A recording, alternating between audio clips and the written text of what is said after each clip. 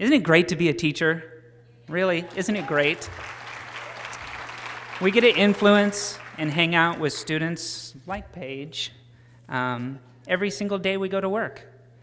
I can't think of another occupation that gives so many chances to positively affect the lives of others.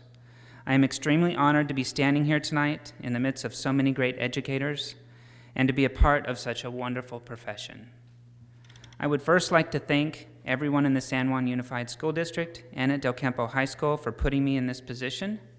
It is really not just my success, it is ours.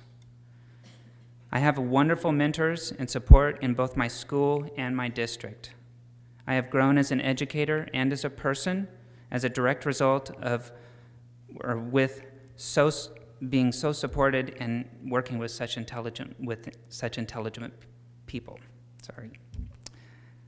The repeated words of one Cheryl Doltz, sitting right over there, uh, keep ringing in my ears that you've got this. Well, I think I do, Cheryl, so thank you so much. I would next like to thank my parents, Gay and Yancy Derringer, for giving me the tools to become who I am today, encouraging me through college even when I wasn't sure exactly what I wanted to do with my life. I also owe a special thanks to all my three children, Danielle, Corey, and Michaela.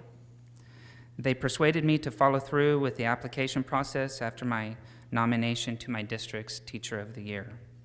I have such great kids, and they are all wonderful in their own ways. I can also tell you without hesitation that I would not be the person that I am today without my wife being, being by my side.